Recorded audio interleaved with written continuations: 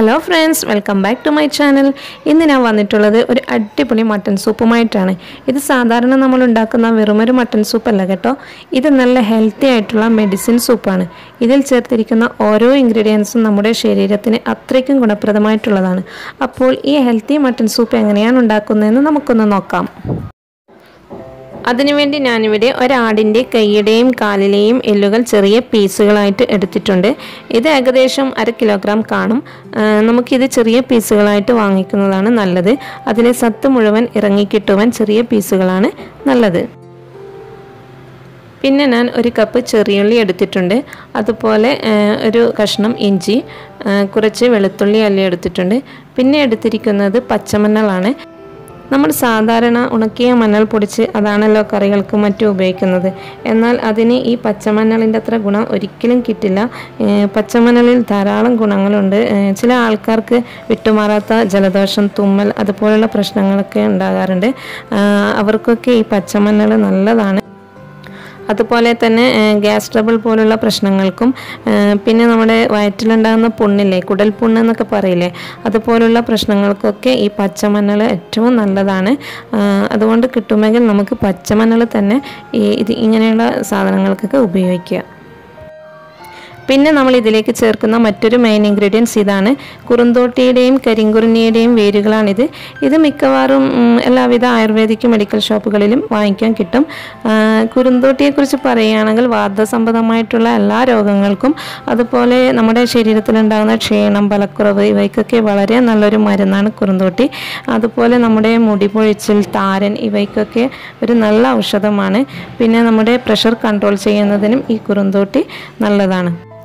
കുറുന്തോട്ടിയെ പോലെ തന്നെ കരിങ്കുറിനെയും നമ്മുടെ വധസംബന്ധമായിട്ടുള്ള എല്ലാ രോഗങ്ങൾക്കും അതുപോലെ നമ്മുടെ സ്കിന്നിനുണ്ടാകുന്ന അലർജി പ്രോബ്ലംസ് നമ്മുടെ പല്ലിന്റെ ആരോഗ്യത്തിനൊക്കെ നല്ലൊരു ഔഷധമാണ് കരിങ്കുറിന്. അതുപോലെ തന്നെ നമ്മുടെ പ്രമേഹ രോഗികൾക്ക് വളരെ നല്ലൊരു മരുന്നാണ് ഈ കരിങ്കുറിന്.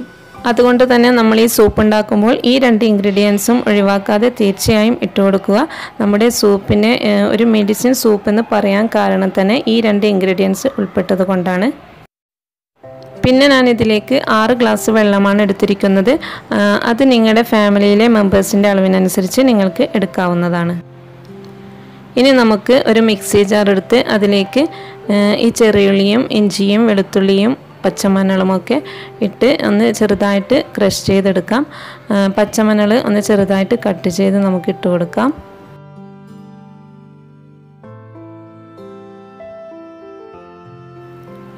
ഇനി ഇത് നമുക്കൊന്ന് ക്രഷ് ചെയ്തെടുക്കാം. ഇതിവിടെ ഞാൻ ക്രഷ് ചെയ്തെടുത്തിട്ടുണ്ട്. ഇനി നമ്മൾ ഒരു കുക്കർ എടുത്ത് അതിലേക്ക് നമ്മുടെ ആട്ടിന്റെ എല്ലിൻ കഷ്ണങ്ങൾ ഇട്ട് കൊടുക്കാം. നമ്മുടെ കരിങ്കുറണിയും കുറുന്തോട്ടിയും ഇട്ട് കൊടുക്കാം. പിന്നെ നമ്മൾ നേരത്തെ ക്രഷ് ചെയ്ത് വെച്ച മഞ്ഞളും ഉള്ളിയും വെളുത്തുള്ളിയും ഇഞ്ചിയുമെല്ലാം ഇട്ട് കൊടുക്കാം. ഇനി ഇതിലേക്ക് ഒരു ടീസ്പൂൺ പെപ്പർ പൗഡർ കാൽ ടീസ്പൂൺ ചെറിയ ജീരകം പൊടിച്ചത് ഒരു ടേബിൾ സ്പൂൺ മല്ലിപ്പൊടി. ആവശ്യത്തിനുള്ള ഉപ്പും കൂടി ഇട്ട് കൊടുത്തിട്ടുണ്ട്. നമ്മൾ എടുത്തു വെച്ച വെള്ളവും കൂടി ഒഴിച്ച് ഒന്ന് മിക്സ് ചെയ്തതിന് ശേഷം പ്രഷർ കുക്കർ മൂടി വെച്ച് നമുക്കിത് പതിനഞ്ച് വിസിൽ വരുന്നത് വരെ വേവിച്ചെടുക്കാം. ഇതിവിടെ പതിനഞ്ച് വിസിൽ വന്നതിന് ശേഷം ഇതിന്റെ ഫ്ലെയിം ഞാൻ ഓഫ് ചെയ്തിരുന്നു. ഇപ്പോൾ ഇതിന്റെ പ്രഷറും കംപ്ലീറ്റ് പോയിട്ടുണ്ട്.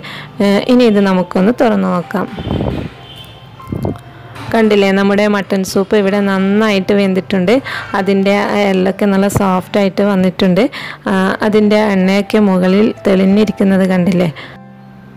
ഞാനിവിടെ ആറ് കപ്പ് വെള്ളമാണ് ടോട്ടൽ എടുത്തത്. ഇനിയിപ്പോൾ അത് അഞ്ച് കപ്പ് വെള്ളമാക്കിയിട്ടൊന്ന് വറ്റിച്ചെടുക്കാൻ പോവുകയാണ്. ഇങ്ങനെ ചെയ്യണമെന്ന് യാതൊരു നിർബന്ധമില്ല കേട്ടോ. നിങ്ങൾക്ക് വേണമെങ്കിൽ മാത്രം അങ്ങനെ ചെയ്താൽ മതി. പക്ഷെ അങ്ങനെ ചെയ്യുമ്പോഴുള്ള ഒരു ഗുണം എന്തെന്ന് വെച്ചാൽ നമ്മുടെ ഈ സൂപ്പിന് കുറച്ചൊന്ന് തിക്നെസ് കിട്ടുകയും ചെയ്യും. അതുപോലെ അതിന്റെ ആ ടേസ്റ്റിലൊന്ന് കൂടുന്നതായിട്ട് എനിക്ക് ഫീൽ ചെയ്തിട്ടുമുണ്ട്.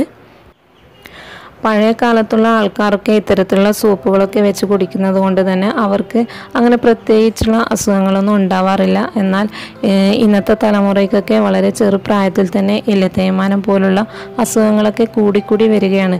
അപ്പോൾ നിങ്ങൾ ഈ സൂപ്പ് ആഴ്ചയിൽ അല്ലെങ്കിൽ മാസത്തിൽ അല്ലെങ്കിൽ വർഷത്തിൽ ഒരിക്കലെങ്കിലും നമ്മളിത് വെച്ച് കുടിക്കുന്നത് നല്ലതാണ്. നമ്മുടെ സോപ്പ് ഇവിടെ നിന്ന് തിളയ്ക്കുന്ന സമയത്ത് തന്നെ പുറത്ത് നല്ല അടിപൊളി മഴ പെയ്യുന്നുണ്ട്.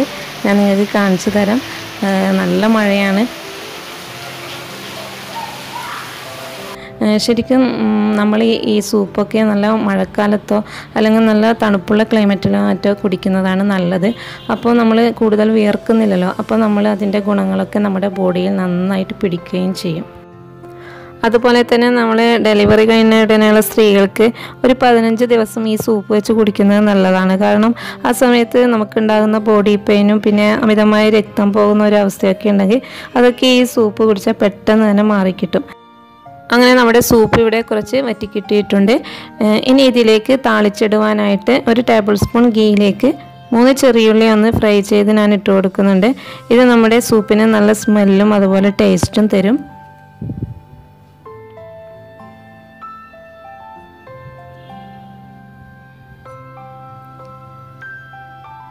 അങ്ങനെ നമ്മുടെ ചെറിയുള്ളി ഇവിടെ ഫ്രൈ ആയിട്ടുണ്ട്. ഇനി ഇത് നമ്മുടെ സൂപ്പിലേക്ക് ഇട്ട് കൊടുക്കാം. അങ്ങനെ നമ്മുടെ സൂപ്പ് ഇവിടെ ചൂടോടെ തന്നെ സെർവ് ചെയ്തിട്ടുണ്ട്. നമ്മുടെ സൂപ്പൊക്കെ എപ്പോഴും നല്ല ചൂടോടുകൂടി തന്നെ കഴിക്കുക. ഈ സൂപ്പിന്റെ വേറൊരു ഗുണം എന്തെന്ന് വെച്ചാൽ ഈ സൂപ്പ് ഏത് പ്രായക്കാർക്കും ഒരുപോലെ കുടിക്കാവുന്നതാണ്. കുറച്ച് പ്രായമുള്ള പ്രായം കൂടിയ ആൾക്കാർക്കൊക്കെ ഈ സൂപ്പ് വെച്ച് കൊടുക്കുന്നത് നല്ലതാണ്. കാരണം അവർക്കാണല്ലോ കൂടുതൽ ബോഡി പെയിനും പിന്നെ കൈകാലുകളൊക്കെ ഒരു മരവിപ്പൊക്കെ ഉണ്ടാവും. അതുപോലെ തന്നെ നമ്മുടെ കുഞ്ഞുമക്കൾക്കും അവരുടെ ബോൺസിനും ബ്രെയിൻ ഡെവലപ്മെന്റിനും ഒക്കെ വളരെ നല്ലൊരു സൂപ്പാണിത്. ഈ സൂപ്പ് കുടിക്കാൻ മാത്രമല്ല ഇതിന്റെ ഈ എല്ലും കൂടി നമുക്ക് കഴിക്കാൻ പറ്റും. എല്ലോട് കൂടി കഴിക്കാൻ പറ്റുമെങ്കിൽ അത്രയും നല്ലതാണ്. അപ്പോൾ നിങ്ങൾ എന്തായാലും ഈ സൂപ്പ് ഒന്ന് ഉണ്ടാക്കി നോക്കണം. ഉണ്ടാക്കി നോക്കിയിട്ട് അതിന്റെ ഫീഡ്ബാക്ക് എന്നെ അറിയിക്കണം. നിങ്ങൾക്ക് ഈ വീഡിയോ ഇഷ്ടമായെങ്കിൽ ഒന്ന് ലൈക്ക് ചെയ്യണം.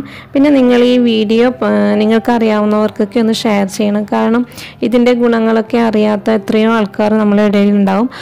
അവർക്കൊക്കെ ഈ വീഡിയോ ഒരു പ്രചോദനമാവുമെങ്കിൽ അതൊരു നല്ല കാര്യമല്ലേ അപ്പോൾ നിങ്ങൾ പരമാവധി ഇതൊന്ന് ഷെയർ ചെയ്യുക. പിന്നെ എന്റെ ഈ ചാനൽ ഇതുവരെ സബ്സ്ക്രൈബ് ചെയ്യാത്തവരുണ്ടെങ്കിൽ ഒന്ന് സബ്സ്ക്രൈബ് ചെയ്യുക. സബ്സ്ക്രൈബ് ചെയ്യുമ്പോൾ കൂടി ഒരു ബെല്ലൈക്കൺ കൂടി വരും. അതിൽ ഓൾ എന്ന ഓപ്ഷൻ ക്ലിക്ക് ചെയ്യുക. അപ്പോൾ മാത്രമേ ഞാനിടുന്ന വീഡിയോസിന്റെ നോട്ടിഫിക്കേഷൻ നിങ്ങൾക്ക് പെട്ടെന്ന് കിട്ടുകയുള്ളൂ. അപ്പോൾ മറ്റൊരു വീഡിയോയുമായി വരുന്നത് വരെ താങ്ക്സ് ഫോർ വാച്ചിങ് ബൈ